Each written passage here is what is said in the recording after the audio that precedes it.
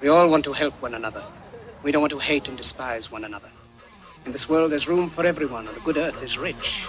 The way of life can be free and beautiful.